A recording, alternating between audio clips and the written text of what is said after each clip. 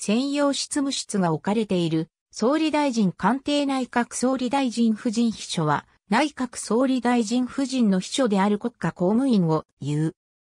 2006年第一次安倍内閣で一人置かれ外務省退官間もない三宅邦彦が就任。非常勤の一般職国家公務員で、官職名は首相公邸連絡調整官であった。三宅は2007年8月の第一次安倍改造内閣大臣に伴い退任。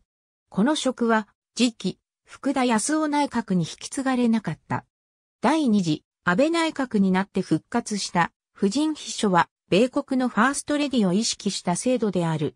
2012年12月、第2次安倍内閣が発足。2013年5月頃から安倍、新造内閣総理大臣周辺で、内閣総理大臣夫人、安倍昭恵の教育係兼監視役が必要という声が上がる中、翌6月、2から3人体制で非公式に、アッキー対策室が設置されたと言われる。当時の室の名称は、昭恵の愛称がアッキーだったことから、2017年3月時点で、経済産業省、外務省から派遣された常勤2人、非常勤3人の計5人体制となっている。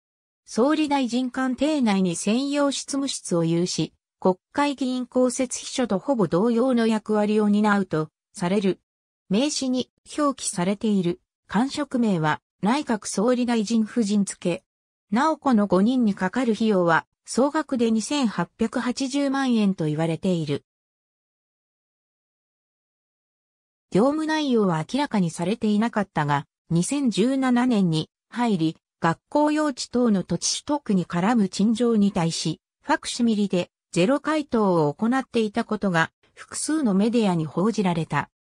公務員給与の他に内閣総理大臣の出張に同行する際は、国家公務員等の旅費に関する法律に基づく交通費が支払われている。内閣総理大臣夫人付き職員数の推移は下記の通りである。北緯35度40分23秒統計139度44分33秒。北緯35.673083度統計139.742611度。35.67308339.742611ありがとうございます。